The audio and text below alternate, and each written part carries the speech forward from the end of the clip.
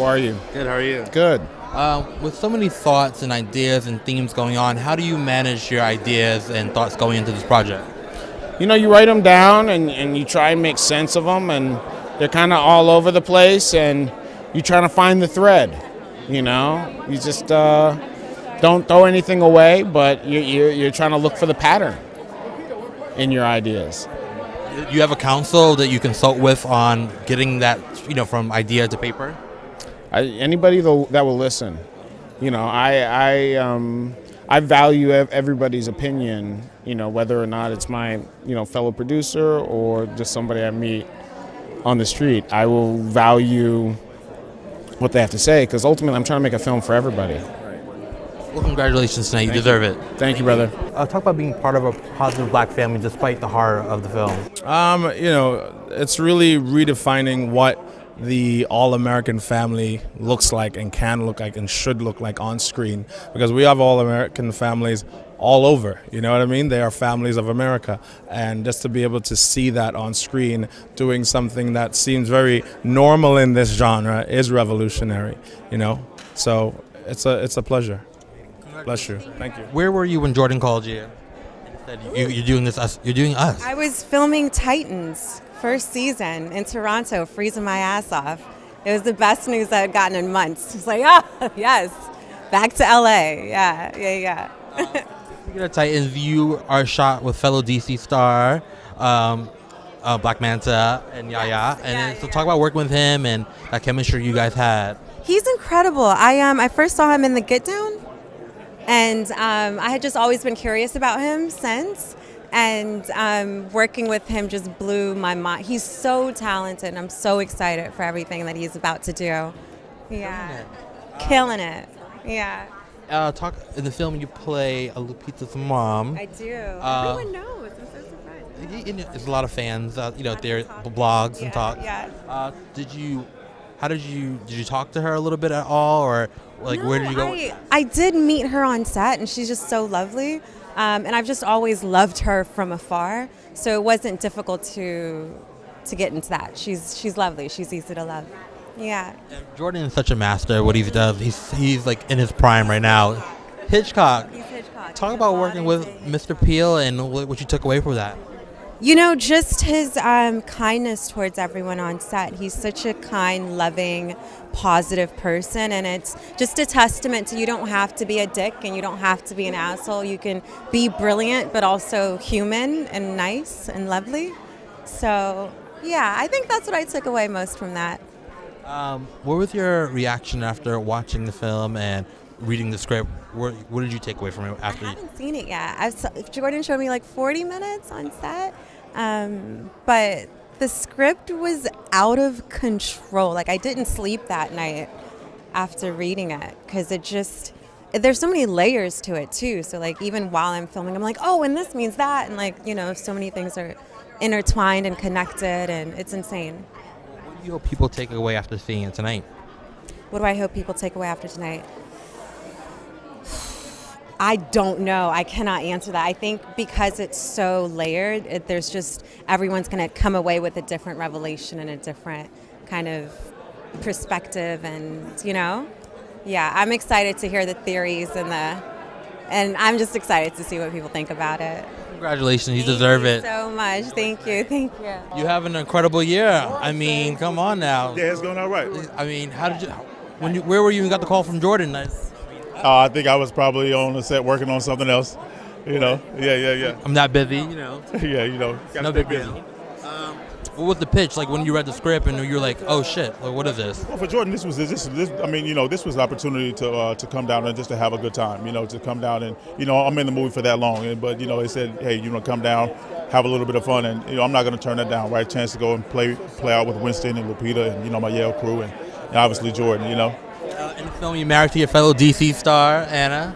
Oh yeah, sure, sure, yeah. You know, DC in the house. Um, Yeah, Talk about working with her real quick. Man, she's she's so talented, so sweet, and uh, you know she, she's really one that she you know she's gonna make you prepare. You know she's gonna make you, you know, come and and, and, and you know bring your A game, and uh, uh, such a pleasure to work with. Yeah, In the film, you essentially play two people. Talk about channeling that other person. Yeah, uh, well, it's just really about the imagination and about seeing what you know what what that other person wanted and you know how they move and how they talk and you know so it was all an exploration and fun and movement and all that all that other stuff. Yeah, yeah, yeah. And then lastly, what do you think people are going to take away after they see this movie? Man, I don't know. I think some they're going to take away so many different things. You know, some some will be you know the their theories. Other other will take away the comedy. Other will take away the horror. But uh, I think that's really the fun of it is that you know you get to see what every different opinion wants to wants to be on this one. So I'm excited for it. Congratulations, sir. Thank you. I appreciate it. All right, take it. Congratulations on tonight. You were so good in the film, so scary. What did Jordan tell you to channel that inner vicious look you had? Um, you know, he would really just come up to me and he would be and he would just be like, "Okay, time to go into Umbrae." And I'd be like, "Okay." And you know, I'd take like my little time to really just get into my character. Um, you know, and we would just hit it. In the movie, you're running a lot. There's a lot of action going on. Was how did you keep up your adrenaline and all the action that's going on in the film? Right. Uh, my dad and I actually worked out together for like the whole two months that we were shooting at the gym. Um, we would like run on the track. Um, it was a lot of fun, you know. A good, uh, good excuse to get into shape. so young, working with such icons. You have Lupita, you have Jordan, you have Winston. Talk about working with them. Did you learn anything more working with them on set? Uh, I definitely learned a lot from Lupita just because she spooked me out so much just on set. Uh, but um, I definitely learned, you know, from her and her method acting. Um, it was it was a lot of fun, and I think that I'll definitely use that in the future. And uh, we talk about working with Jordan. He's such, you know, a, a renaissance man right now, and one of our greatest directors. Was it surreal working with him, and what did you take away working with him? Yeah, I loved working with him, and I definitely want to work with him again. You know, he's he's really goofy and playful, but you know, he created such a great environment for all of us to work in and just just bond as a family. A lot of tough themes in the film. Um, what was the hardest for you to for your for you to prepare for? I think that I really didn't get the message until like a week ago. You know, Jordan hasn't really talked about it much until we, you know, uh, we're at South by Southwest. Um, as we know, you know, the theme is that you know we are our own worst enemy. Mm-hmm. Do you think that's the message people will take away after they see the film? Oh, definitely. You know, um, he said that you know we uh, we as humans are you know somehow scared of the other. So sometimes we just need to look in the mirror and see that the monster is really us. Congratulations tonight. You deserve it. Thank you so much. So nice to meet you. So, where were you when you got the call you were going to be in Us? I was uh, shooting a TV show that's not come out yet, so that's a problem because that's a year ago. Um, that uh, and yeah, I got a call that Jordan wanted to meet with me about his movie, and he came by our set and and sort of just said, "Hey, I got this movie that I've got a part for you in," and I was like, "Well, what do you want? What do you, who do I need to audition for?" He's like, "No, if, if you want it, it's yours." I was like, "Oh wow!" So that was it. You're working with so many great talents: Lupita, Winston, Elizabeth. Talk about working with all these amazing people. Um, I'm just looking for amazing people here. I thought I saw Glenn Close, but it wasn't her. Um, they're um, un- they're all so great. They were all really um, warm and welcoming, and uh, we had a lot of fun. It was it was you know it was um, a pleasure. In the film, you come face to face with your inner demon. Uh, talk about channeling that inner part of yourself, and how did you get that across the screen? Well, um, you know, it's a technical medium, so it's uh, it was a lot of hair, makeup, and and finding certain looks and sounds that were going to be appropriate, and you know, trial and error a little bit. Uh, not a lot of like psychological examination or anything like that. That's good. Save you, save you the, the therapy. Uh, what was your reaction to the script when you first read it? Oh, I was like, uh, wow, scary, scary, and and bold, and um, you know, big, big, big swing that he uh, managed to pull off. You know, it could it could be a bad movie, but it's not. You could somebody else could take that script and make a really bad movie, and it doesn't happen. What do you think people are gonna say after watching this? What are you gonna think they're gonna take away? Well, I think they're going to enjoy the experience. First, Get Out, now Us. When Jordan Peele calls, what what does that phone call consist of, and what does he tell you? He doesn't tell me anything.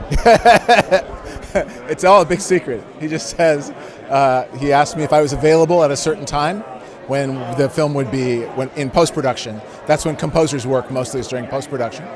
And then he called me when um, when the script was ready because he wanted me to read the script because I usually start by reading the script and then just writing some music based on what the, you know what the script suggests to me and what Jordan and then and after I read the script he tells me some of the things that he thinks are important in the script some of its themes and how he thinks that might be expressed musically and then he lets me show him what I got.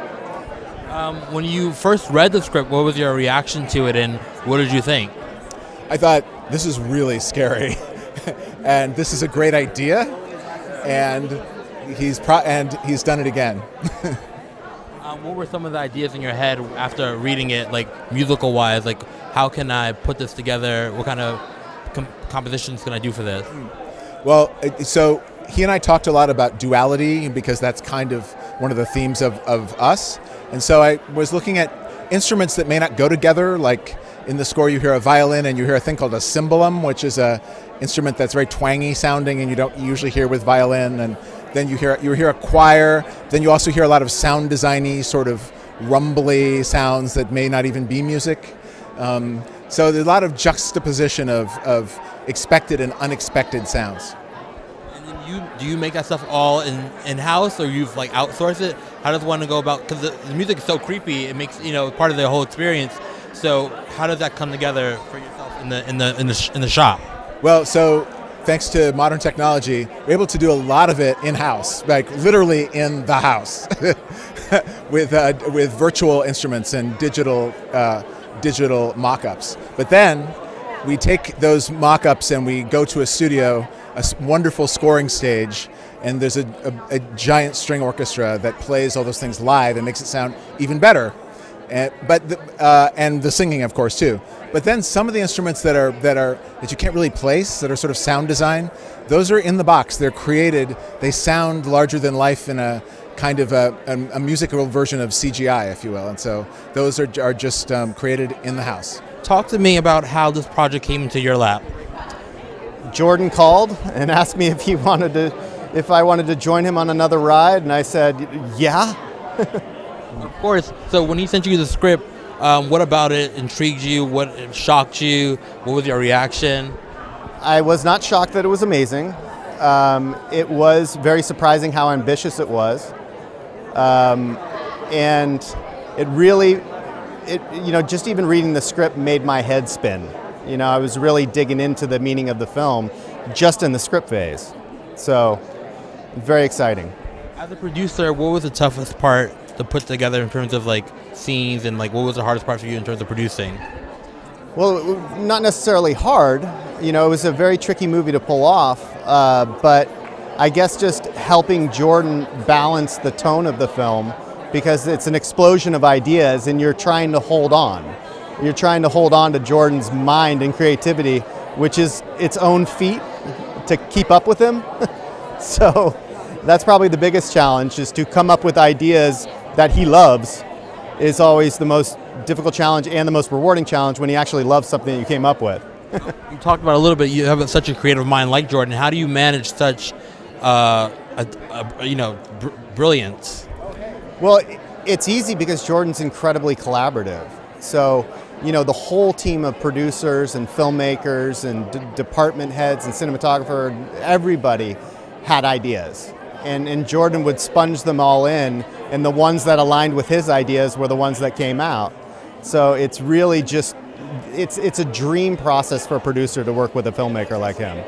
Um, there's so many meanings and so many subjects going on in the film. What do you think people will take away after seeing the film? Well, I hope for one they they are entertained and they're terrified, but also I hope they walk away from the film thinking about how we as a society are our own worst enemies and look inside ourselves and what can we be doing better to make the world a better place. I like that. Well, congratulations, Zach. Thank you so much. Congratulations. Talk about your characters in the film. There's a lot of twinning going on without giving so much away. Talk about uh, working with Jordan and how you guys got to be in the movie? Um, well, our characters are Becca and Lindsey Tyler. We're kind of the bratty teenagers who we're just honestly we're just brats. We're privileged, but we don't want to admit it, but we know it. And working with Jordan and the rest of the cast was absolutely amazing. Obviously, they're all such like inspirational people and such amazing actors. So getting to work with them and actually like interact with them and get tips from them was really, really inspiring. Uh, in the movie, you guys deal with some doubles. How does that work on the screen? Talk, tell us the movie magic behind that.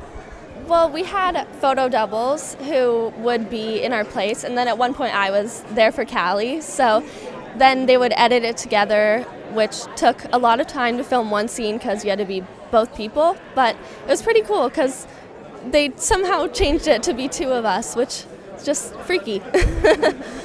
Speaking of freaky, what was your first reaction to the script? And I mean, I saw the movie, I was freaked out and I loved it. What was your reaction to it? we both read it in like one night. This we got it at like midnight, and we stayed up really late reading it, and just my jaw was on the floor. It was just incredible to read it, and then even more incredible to see it on screen and to see how it turned out. It's really cool. What do you think people are going to take away after they see the movie? You know, there's so many messages going on in the film. What do you think people are going to say after they watch it? Uh, I honestly think that everyone's going to take away a little bit of a different message from it. Obviously, the you are your own worst enemy is kind of the central theme of it, but there's so many different layers that everyone can like understand individually, which that's like an individual is going to have to see that for themselves. Congratulations tonight, ladies.